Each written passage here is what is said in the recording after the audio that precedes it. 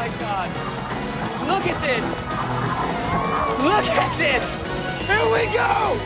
These are all the kids that ate lunch by themselves in high school. These are the loners. And they stumbled upon this and they went, whoa, I belong here.